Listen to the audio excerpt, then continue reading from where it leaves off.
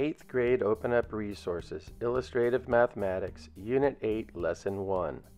The areas of squares and their side lengths. Number 1. Find the area of each square. Each grid square represents one square unit. Square A has 9 complete square units and several fractions of square units. I'm decomposing square A, taking the fractions of the square units, and then reassembling them, creating whole square units. This will give me a clear illustration of the area of square A.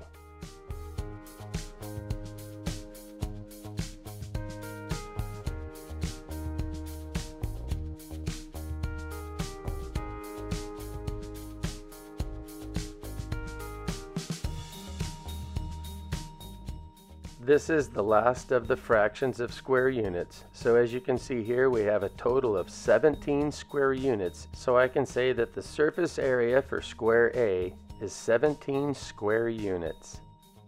Square B has 12 complete square units and several fractions of square units.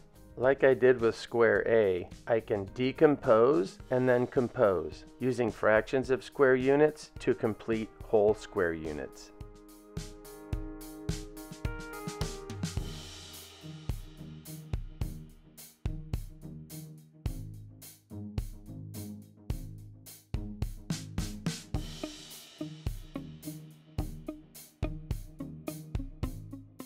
Here you can see that square B has a total of 20 square units. To find the area in square units for squares C and D, I'll use the same strategy of decomposing and composing.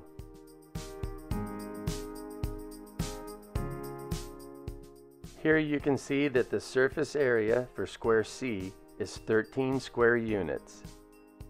If you pay attention, as you decompose and compose, you'll notice that a pattern develops.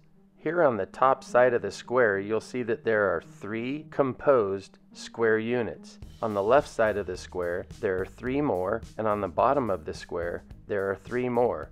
And now on the right side, you'll see that there's three more. You could save a lot of time by recognizing this pattern. All you'd have to do is compose one of the sides and you can predict the total of square units for that particular square. The surface area for square D is 37 square units. Number 2. Find the length of the side of a square if its area is A. 81 square inches. Since the side lengths of squares are always equal, the length of one side times the length of the other side will always equal the square's area. 9 squared, or 9 times 9, is 81. Square A has 9 inch side lengths. If the area of a square is 4 25ths centimeters squared, the side lengths would have to be 2 fifths, because 2 fifths times 2 fifths equals 4 25ths. The side lengths would be 2 fifths centimeters long. If an area of a square is 49 hundredths square units or 0.49 square units, then the side lengths must be 7 tenths or 0.7 because 0.7 times 0.7 equals 0.49 or 7 tenths times 7 tenths equals 49 hundredths. The side lengths for square C are 7 tenths of a unit. If the area of a square is m units squared, then its side lengths must be m because m times m is m squared, or m units squared. Square D has m units side lengths. Number 3. Find the area of a square if its side length is a 3 inches. 3 inches times 3 inches equals 9 square inches. A square with side lengths 3 inches long would have an area of 9 square inches. Find the area of a square if its side length is 7 units. 7 times 7 is 49. So the area would be 49 square units, or 49 units squared. Find the area of a square if its side length is 100 centimeters. A side length of 100 centimeters times a side length of 100 centimeters would equal 10,000 centimeters squared, so the area would be 10,000 centimeters squared. Find the area of a square if its side length is 40 inches. A 40 inch side length times a 40 inch side length equals 1600 square inches. The area of this square would be 1,600 inches squared. Find the area of a square if its side length is x units. x times x equals x squared. The area of this square would be x square units, or x units squared. Number 4, from 8th grade, Unit 7, Lesson 14. Evaluate 3 and 1 tenth times 10 to the 4th times 2 times 10 to the 6th. Choose the correct answer. 3 and 1 tenth times 2 equals 6 and 2 tenths, so that eliminates A and B. 10 to the 4th times 10 to the 6th. That equals 10 to the 10th, which eliminates D, so the correct answer is C, 6 and 2 tenths times 10 to the 10th. Number 5, from 8th grade, Unit 7, Lesson 15. Noah reads the problem. Evaluate each expression, giving the answer in scientific notation.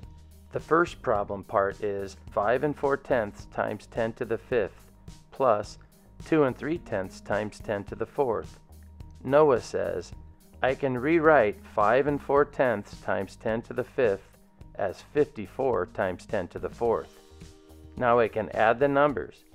54 times 10 to the 4th plus 2 and 3 tenths times 10 to the 4th equals 56 and 3 tenths times 10 to the 4th. Do you agree with Noah's solution to the problem? Explain your reasoning. 5 and 4 tenths times 10 to the 5th equals 54 times 10 to the 4th. It does equal 56 and 3 tenths times 10 to the 4th, Converted to scientific notation, it would be 5 and 63 hundredths times 10 to the 5th. So I disagree. Noah's answer was not in scientific notation.